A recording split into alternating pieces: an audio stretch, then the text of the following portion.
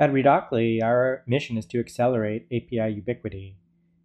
Handling multiple versions of APIs is important. There's multiple ways uh, that versioning can be handled. I'm demonstrating how to show uh, multiple versions, in effect treating different API versions almost as different APIs.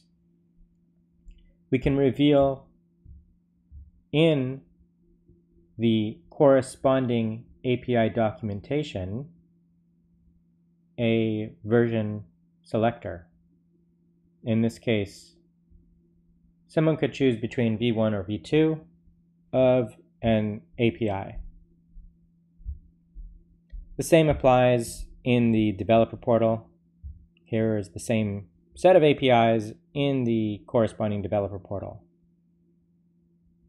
There is an alternative to versioning, which is API evolution. That's evolving the API.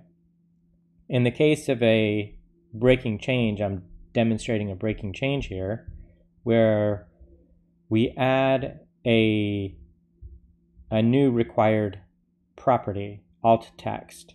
So this would make it a breaking change. And would demonstrate doing that using polymorphism with oneOf and a deprecated flag on the previous schema.